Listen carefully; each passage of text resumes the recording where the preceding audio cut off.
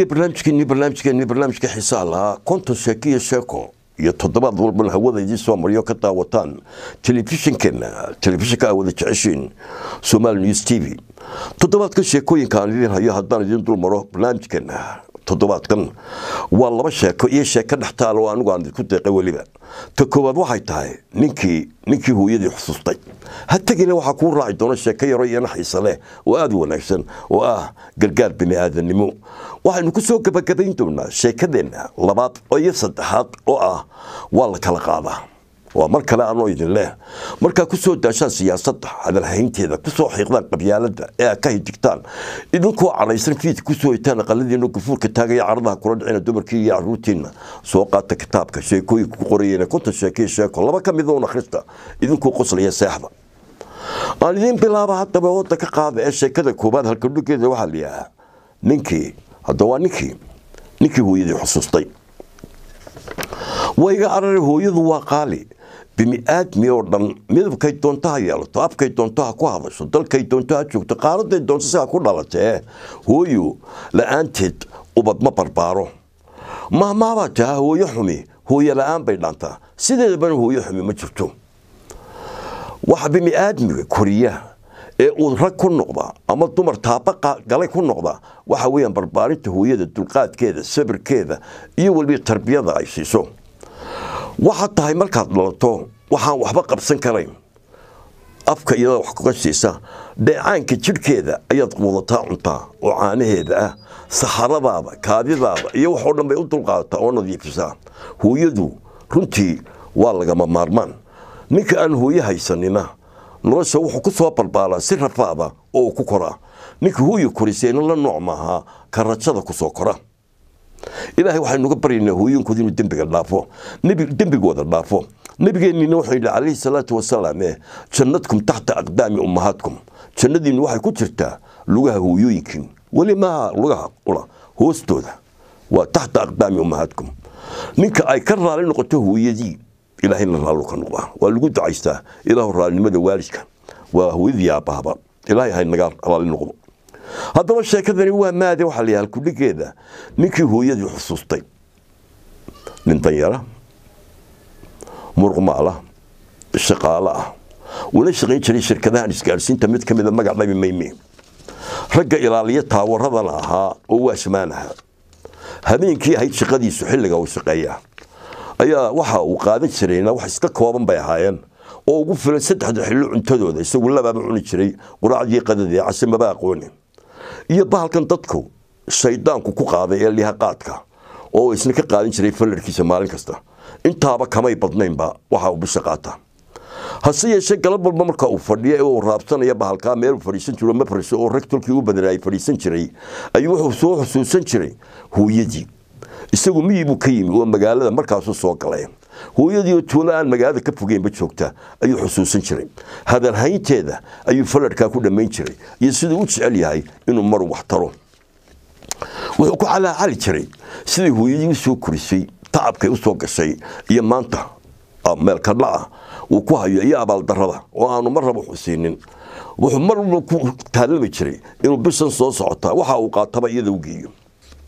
Wuxuu hadalhayntaa wadaba maalintii dambea ilaahay ku toosiyey oo qadar ala noqotay inuu tago xafiiskii. Wuxuu u tegay ninkii isaga madaxda ahaa uu yidhi war arrintaasay haysataa waxaan qaatana waa taqaana.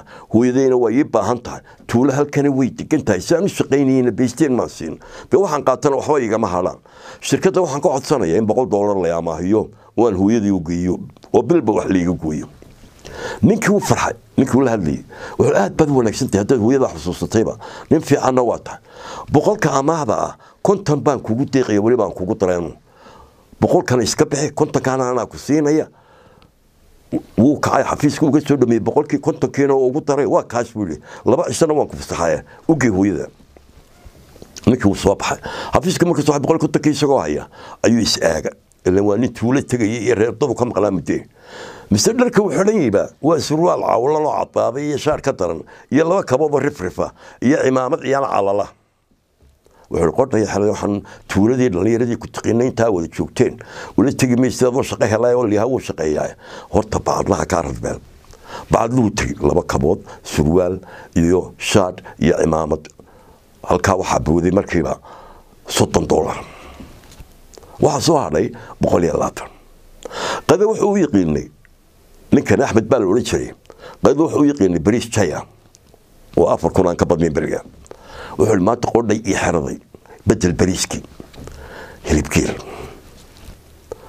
markuu dhaqa intaa ku tallamayay dharkiina uu soo xidhnayna mid dhinaca kaga qabtay saaxiibkiia waryaa axmed maanta xaalkaagu waa bedelaye waa adigaroo soo arad beesha bas waraama kaali waynu soo wada qadeynayna hilibgeelkii baa la dhowr iyo toban shan iyo toban dolar baa halkii laga tufaya waxaa soo haray boqolkiiba shan iyo dheerta jaadka wuxuu qaadan jiray falladhe maanta wuxuu ihi gobannimo rubacaaga qaado. Kii la socdayna wuxuu u qaaday falladh sigaarkii iyo sharaabkii iyo wixii markii lagu darayna iyana waxay noqotay labaatankii kale. Siddeetankii isagoo haysta ayuu raacay baabuur. Xaajiyada oo laba shir leh oo tuuladii u baxaya oo cidhiidhiya. Shirkii baa layidhi halkan waxaa ku fulaysan xagga hore saddex qof iyo daraawalka de waa nin cidhiidhiga naga daaya anigu waa laa karaysanaya labaatan dolar ba xagga hore keligii ku karaystay lixdan baa hadhay. Tuuladii markuu saa uga degayna dhallinyarada ma ku soo yaacay axmed baayimiyey mijin qaado laba mijood qaado saddex qaado adigo caqaar qaado fiidkii markay tahay ayaa isagoo toban dolar jeebka ugu jirto. Ayuu mid ag weydiin waar islaantii heblaayahay dhashay. Tuulada miyay joogtaa? Markaasaa maya ee waa ta roobku daayo inankiini hebeloo reerkiisu meel hebelaayo degan yahay ayay caana u doonatay. Laakiin way soo noqonaysaa. Alxamdulilah hay sheegine marka dambe wuxuu keenayay aroortan baabuurkii hebel raacaya. Ninkii ninkii hooyadii xusuustay. Ha tegina waa tan iyana sheeko kale. Gargaarka bini aadanimadu wuu tiro badanya waxaa ka maqashaan idaacadaha iyo telefishinada had iyo jeer iyadoo loo fidinayo dadka. Waa gargaar bini aadan maali ah waxaa iscaawiya bini aadmiga oo dhan diin kastay haystaanba marka dhibaata meel ka dhacdo waxaa laysku caawiyaa bini aadannimo dadka qaar gargaarka waxay u fidiyaanuun dadka ay isku qolada yihiin. Qaar waxay u fidiyaan kuwa qoyskooda ah ee weliba ka sokeeya. Laakiin bini aadmigoo dhan wuu iscaawiyaan layskuma caawiyo midab layskuma caawiyo diin keliya layskuma caawiyo muxuu ahaayeen qolo layskuma caawiyo qoys. Waxaa ka wanaagsan biniaadnimada in laysu caawiyo inkastoo islaamnimadu ay ka sii xag jirto ilaahay yidhi inama almu'minuuna ikhwa. Oo walaalkaaga mu'minka uu kaa xigay inta kale. Biniaadnimada gargaarkiisa wax jira wey laakiin sheekadeenani magacaasay leedahay ujeeddada faham.